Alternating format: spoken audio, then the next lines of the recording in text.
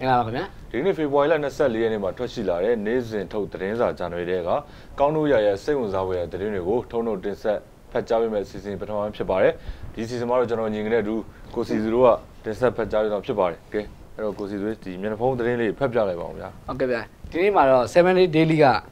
စစ်ပြွာရရေးကြီးတောင်ကုန်းတွေတက်တော်တိမ့်မှတ်ထားရဲဆိုတဲ့သတင်းကိုကောင်းစီတင်ထားပါတယ်နောက်ပြီးတော့ device ကလည်း စိတ်ုံပိတ်ဆို့ဆန္ဒပြနေတဲ့လူသားတွေကိုရေးယူမယ်လို့အစိုးရကထပ်မံသတိပေးလိုက်တဲ့သတင်းကိုကောင်းစီတင်ထားပါတယ်စံတော်ချိန်နေ့စဉ်သတင်းစာမှာတော့ကျောင်းသားသမဂ္ဂကိုရွေချက်ရှိရှိနိုင်ငံရေးအယောင်ဆိုးလမ်းကြောင်းလွှဲထားအစိုးရနဲ့လွှတ်တော်အနေဖြင့်သဘောတူညီချက်တွေလေးစားလိုက်နိုင်အောင်တောင်းဆိုဆိုတဲ့သတင်းတွေကိုကောင်းစီတင်ထားပါခင်ဗျာဟုတ်ကဲ့ပါအဲ့တော့ကျွန်တော်တို့ဒီမှာ Ada Hour ဖတ်ပြပါမယ်ဒါကတော့ဒီဆက်ဒီ Daily Level သတင်းစာပါပဲစာမျက်နှာလေးပါဗျာမှန်ကန်သောဖြစ်ရှိမှုနဲ့သူ့ဘက် ကိုယ့်ဘက်ဆိုပြီးတော့ဗောနော်မပြေလည်မှုများအစင်မပြေမှုများသဘောမတူမှုများအမြင်မတူမှုများစသောမြည်သည့်ကိစ္စရပ်တွေမဆိုနှုတ်နှစ်ဖက်သို့မဟုတ်တို့တက်ပိုသောညီနိုင်ရမှုများတွင်သူ့ဘက်ကိုယ့်ဘက်မြတ်မြတ်တတဆွေးနွေးဖြေရှာရန်အရေးကြီးသည့်ဖြစ်တင်ဖြစ်တိုက်သောအခြေအနေမှန်နဲ့အမှန်တရားကိုလည်းမျက်ကွယ်မပြုရန်လိုအပ်ပါသည်ထို့အပြင်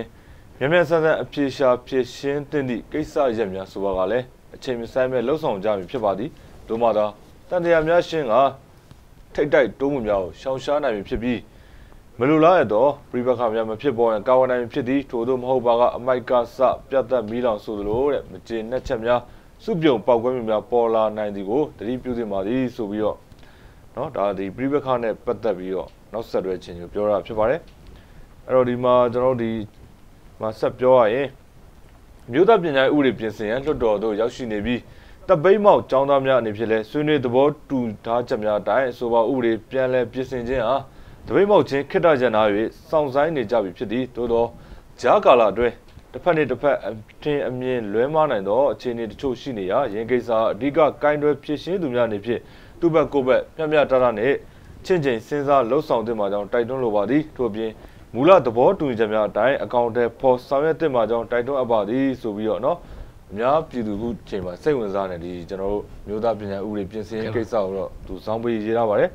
ဒီမှာကျွန်တော်တို့ဆက်ဖတ်ဖို့ကြံပါသေးတယ်ဒါပေမဲ့ကျွန်တော်ချုပ်ပြီးတော့ချိန်တိုင်းလာရပါတော့ကျွန်တော်စီစဉ်ချိန်တိုင်းရချုပ်ပြီးဖတ်ပြပါမယ်ပြီးခဲ့သည့်ချက်များဟာတဲ့ရန်ကုန်မြို့တွင်တပိတ်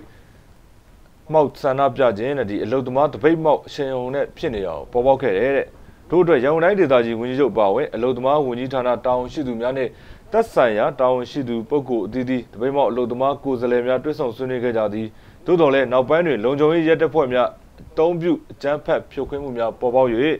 နှစ်ဖက်ထိခိုက်ဒဏ်ရာရမှုများဖြစ်ပေါ်ခဲ့သည်တလားလည်းလာဆောင်ငွေကျပ်3000တိုးမြင့်တောင်းဆိုခြင်းအတွက်အရရက်ကြားလို့မှမကောင်းမြင်တွေမှဒီမတင်တော်သောစိတ်မကောင်းစရာမြင်ကွင်းများဖြစ်ပေါ်စေသည့်အထီးတဲ့ အင်အားသုံးဖြစ်ခြင်းမှုကမလိုလားသောနာကျင်မှုများကိုစင့်ပွားပေါ်ပေါက်စေနိုင်သည်ကိုအာဏာပိုင်များတတိပြုသင့်ပါသည်တဲ့ဤကဲ့သို့အထွေထွေအစင်မပြေခြင်းတပိတ်မောက်ဒီဒီမှာထွက်ပေါက်ပိတ်ရွေးတဲ့မျောလင်းချက်ကင်းမဲ့ခြင်းယုံကြည်မှုမရှိတော့ခြင်းများပေါ်ပေါက်သည့်အခါဖြစ်ခြင်းအခက်သည့်နောက်ဆက်တွဲပြဿနာခြင်းများပေါ်ပေါက်တတ်သဖြင့်အစိုးရနှင့်လွှတ်တော်ပါဝင်သက်ဆိုင်သူအသီးသီးကသူ့ဘက်ကိုယ့်ဘက်နိုင်နိုင်ဆဆဖြစ်ရှင်းသမှာကြောင်း Daily Level သတင်းစာကတိုက်တွန်းအပ်ပါသည်ဆိုပြီးတော့เนาะဒါဒီလက်ရှိဖြစ်နေတဲ့ပြိပခါတွေကိုเนาะကျွန်တော် ညင်ညင်တွေ့ညင်ညင်သာသာလေးကင်တွေဖြစ်ရှင်းဖို့ပြောတာဖြစ်ပါတယ်ဟုတ်ကဲ့ပါကျွန်တော်ကတော့မီဇီမတဲကသတင်းတူးလေးတစ်ပုဒ်ကိုကျွန်တော်လည်းဖတ်ပြချင်ပါတယ်အဲ့သတင်းကတော့လူသမားတွေရဲ့ကြမ်းဖက်တောင်းဆိုဆန္ဒပြမှုတွေကိုတည်ဆဲဥပဒေနဲ့ရေးယူမယ်လို့သတိပေးလိုက်တဲ့သတင်းမှာအဲ့သတင်းမှာဆိုလို့ရှိရင်သူဟာရွှေပြည်သာစက်မှုဇုံနဲ့လှိုင်သာယာစက်မှုဇုံကစိတ်ုံချို့ကလူသမားတချို့တို့တွေလှုပ်အားလားကတိုးရလိုမှုနဲ့ဆက်လင်း၍ဥပဒေနဲ့မညီသောကြမ်းဖက်တောင်းဆိုဆန္ဒပြမှုတွေ ဖျက်မောက်ပြုလုပ်ပိတ်ဆို့မှုတွေကိုတည်ဆဲဥပဒေနဲ့အညီရေးယူဆောင်ရွက်သွားမယ်လို့ရန်ကုန်တိုင်းဒေသကြီးအစိုးရအဖွဲ့နဲ့လုံသမားအလုတ်ကိုင်နဲ့လူမှုဖူလုံရေးဝန်ကြီးဌာနတို့ကဖေဖော်ဝါရီလ23ရက်နေ့ကထပ်မံသတိပေးလိုက်ပါတယ်။လက်ရှိဆန္ဒပြမှုတွေပေါ်မှာစိတ်ယုံတွေကနိုင်ငံသားတွေကလာရောက်ရင်းနှီးလုတ်ကိုင်နေကြသောစိတ်ယုံများဖြစ်ပြီးလုပ်ငန်းမဆောင်ရနိုင်သည်မှာရက်သက်နှစ်ပတ်ရှိနေပြီဖြစ်၍အမခံထားသောကုန်ထုတ်လုပ်ငန်းများကိုမဆောင်ရနိုင်ခြင်းကြောင့်အဆိုပါစိတ်ယုံများမှဝင်ငွေများရှိတော့ခြင်းကုန်မာစာများပယ်ဖြတ်ခံရခြင်း နောက်ထပ်ကုန်အမာစာများမရရှိတော့သဖြင့်ရှေ့ဆက်လုပ်ငန်းများဆောင်ရွက်ရန်အခက်အခဲရှိနေခြင်းစသည့်ဆုံးရှုံးမှုများဖြစ်ပေါ်နေသည်တဲ့ထို့ကြောင့်နိုင်ငံသားလုပ်ငန်းရှင်များသည်မိမိတို့၏လုပ်ငန်းများကိုရပ်ဆိုင်းပြီးပြည်ပသို့ပြောင်းရွှေ့လုပ်ကင်ရန်ဆန္ဒရှိနေကြောင်းပြောဆိုနေသည်ဟုလုံသမားအလုပ်ကင်နဲ့လူမှုဖူလုံရေးဝန်ကြီးဌာနကသတင်းထုတ်ပြန်ထားပါတယ်ဖေဖော်ဝါရီလ19ရက်နေ့ကတိုင်းအစိုးရကစက်ရုံများရှိပိတ်ဆို့ဆန္ဒပြမှုများကိုဥရေရရေးယူသွားမှာဖြစ်ကြောင်းသတိသတိပေးထုတ်ပြန်ခဲ့ပြီးဖေဖော်ဝါရီလ20ရက်ညတွင် လူသမားများနှင့်အစိုးရလုံခြုံရေးတို့ကြားအတိအကျုံဖြစ်ပွားခဲ့သည်ထိုညမှာပင်လူသမား10ဦးဖမ်းဆီးခံရပြီးနောက်2ဦးပုံမှန်905ခဖြင့်မှုဖွင့်ဖမ်းဆီးခဲ့သည်လောကလာစာတိုးပေးရန်ဆန္ဒပြတောင်းဆိုနေသည့်ရွှေပြည်သာမြို့နယ်ထဲကျုပ်စစ်ရုံမှာနိုင်ငံတော်ကြီးညိုပြက်စီမှုပုံမှန်ဖြင့်ဖမ်းဆီးခံရသည့်အလုသမားခေါင်းဆောင်2ဦးအမြန်ဆုံးပြန်လွှတ်ပေးရန်အလုသမား900ကျော်ကဖေဖော်ဝါရီ23ရက်ကစူတောင်ပွဲပြုလုပ်တောင်းဆိုခဲ့အောင်အီရန်မြန်မာအထက်ကျုပ်စစ်ရုံအလုသမားသမဂ္ဂကအဖွဲ့ဝင်ကိုဖြိုးလေးကမိစီမာကိုပြောသည်တဲ့ညှိနှိုင်းမရသော လောကလာစာတောင်းဆိုမှုများကြောင့်ဆန္ဒပြမှုကြာမြင့်ပြီးလုပ်ငန်းရက်စဲပါကအလုသမားအတွက်နစ်နာကြေးပေးရန်အလုရှင်တွေတာဝန်မရှိဘူးအလုရှင်များတွင်တာဝန်မရှိဘူးလေမြန်မာနိုင်ငံထေကျုပ်လုပ်ငန်းရှင်များအသင်းထုတ်ပြန်ချက်တွင်ဖော်ပြထားပါသည်တဲ့ ဟုတ်ကဲ့ပါအခုဒီရပိုင်းကတော့เนาะဒီအလုံသမားတပိတ်ဖြုတ်ခွင်းခံရတဲ့ကိစ္စတော့ဒါအများပြည်သူစိတ်ဝင်စားတဲ့သတင်းတစ်ပုဒ်ဖြစ်နေပါတယ်เนาะအဲ့တော့ဒီမှာကျွန်တော်လည်းဒီမှာဆက်ပြီးတော့စိတ်ဝင်စားတဲ့သတင်းတစ်ပုဒ်ဆက်ပြီးတော့ဖတ်ပြပါမယ်ဒါတော့ဒီ daily level သတင်းစာပါဒီမျိုးသားပညာဥပဒေ ပြင်ဆင်ရေးပေါ့နော်ကျောင်းသားတပိတ်နဲ့ပတ်သက်ပြီးတော့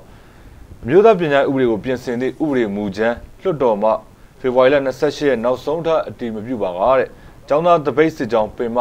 ရန်ကုန်သို့ဆက်လက်ချီတက်မည်ဆိုပြီးတော့နော်ဒါတော့ဒီအကတပိတ်ခေါင်းဆောင်တူဖြစ်တဲ့ကိုမင်းသွေးတက်ကဒီမနေ့ကဖေဖော်ဝါရီလ23ရက်နေ့ပြောတာဖြစ်ပါတယ်မျိုးသားလွှတ်တော်တို့တဲ့အမျိုးသားပညာဥပဒေကိုပြင်ဆင်သည့်ဥပဒေမူကြမ်းရောက်ရှိနေပြီဖြစ်တော်လဲပင်မတပိတ်စစ်ကြောင်းတောင်းဆိုထားသည့်ဖေဖော်ဝါရီ28ရက်နောက်ဆုံးထအပြစ်သက် ဆွေးနွေးအတည်ပြုနိုင်ပြီမဟုတ်ကြောင်းပြည်ထောင်စုလွတ်တော်ဥပဒေချမ်းကော်မတီဒုတိယဥက္ကဋ္ဌဦးခင်မောင်ဤကားတဲ့ဒီဖေဖော်ဝါရီလ20ရက်ကကျင်းပပြုလုပ်တဲ့ပြည်ထောင်စုလွတ်တော်စီဝေးပြီးမီဒီယာတွေရဲ့မေးမြန်းမှုမှာထည့်သွင်းဖြေကြားသွားဖြစ်ပါတယ်အဲ့တော့လဲတောင်းသားတပိတ်ကလည်းပြန်ပြီးတော့ဟိုတုံ့ပြန်ပြောတာဗျာ28ရက်ဒီတကယ်လို့အတိမပြုတ်ဘင်းသူတို့ကတော့တပိတ်ကိုပြန်ချီတတ်မယ်ဆိုပြီးပြောတာပါကျွန်တော်တို့အနေနဲ့တော့တဲ့ရန်ကုန်ကိုရောက်အောင်ရှောက်ရမယ့်အနေအထားဖြစ်နေပြီဥပဒေချမ်းကော်မတီကဖေဖော်ဝါရီလ28ရက် အမိကိုတဲ့အမျိုးသားပညာဥပဒေကိုပြင်ဆင်တဲ့ဥပဒေချမ်းအတီမပြုတ်နိုင်ဘူးဆိုတော့မဖြစ်နိုင်ဘူးဒါကဖြစ်နိုင်ပါတယ်တဲ့အမှန်ကကျွန်တော်တို့ကိုတပတ်တွင်းလုတ်ပေးမယ်လို့အစိုးရနဲ့ဆွေးနွေးပွဲမှာပြောထားတယ်သတင်းမီဒီယာရှင်မှာပြောတာမဟုတ်ပေမဲ့ဆွေးနွေးတဲ့အကြောင်းအရာအနေနဲ့ပြောတာဖြစ်တဲ့အတွက်ကျွန်တော်တို့အမြင်ကတော့10ရက်ဆိုတဲ့အချိန်လွတ်တော်အနေနဲ့ဒီဥပဒေပြင်ဆင်ဖို့အချိန်လုံလောက်တယ်လို့မြင်နေဆိုပြီးတော့เนาะဒါဒီကိုမင်းတွေ့တဲ့ကပြောတာဖြစ်ပါတယ်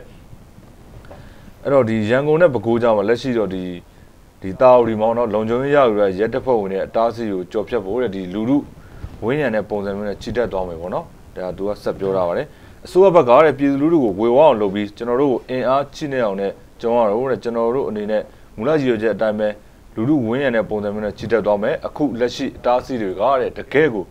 ကျွန်တော်တို့တားစီမဲ့သဘောဖြစ်နေတယ်ဆိုပြီးတော့နော်ဒါကိုမင်းတဲ့ကပြောတာဖြစ်ပါတယ်တစ်ဖက်မှာလည်းအစိုးရဘက်ကတော့ဒီရန်ကုန်ဝင်ဖို့လုံးဝပိတ်ပင်တားထားတယ်နောက် ဒီရေးဖို့လည်းပြောတာဖြစ်ပါတယ်အဲ့တော့ကျွန်တော်ကပဲဒီမှာဆက်ပြီးတော့ဒီ11ကပဲเนาะကာတွန်လေးတစ်ခုဖတ်ပြအောင်မယ်ဒါကတော့ဒီစာမျက်နှာ၈ကပါ ဟုတ်ကဲ့ပါ ဒီမှာလူနှစ်ယောက်နဲ့ဒီမှာတခြားလူတယောက်ကြောခိုင်းပြီးသွားတယ်ဗောနော်အမှလူတီလူနှစ်ယောက်ကပြောနေကိုယ့်ရာလူအစင်သိက်ခါနဲ့ညီပေးပြင်းရင်တဲ့တီရမယ်တဲ့